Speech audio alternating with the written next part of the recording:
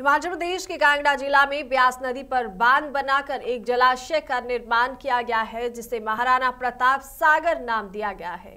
ये जलाशय या झील रामसर सम्मेलन द्वारा भारत में घोषित 25 अंतरराष्ट्रीय आर्द्र भूमि साइटों में से एक है। इस झील में रेंसर दी गाड़ी नामक टापू है, जो कि काफ़ी प्रसिद्ध है, जिस पर वन मंत्री गोविंद सिंह ठाकुर ने कहा कि अभी वो रेंसर दी गाड़ी में नहीं गए हैं। उन्होंने कहा कि इसको पर्यटन की दृष्टि से विकसित करने के लिए हर संभव प्रयास किया जाएगा। उन्होंने कहा कि इको टूरिज़्म की सहायता से इसको विकसित करने के लिए मास्टर प्लान तैयार किया जाएगा।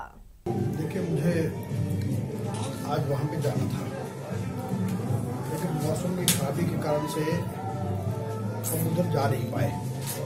इसलिए कि मैं अगली बार आऊँगा तो निश्चित रूप से जाऊँगा। लेकिन मैं जाते जाते अपने वन विभाग के अधिकारियों को आदेश करके जाऊँगा।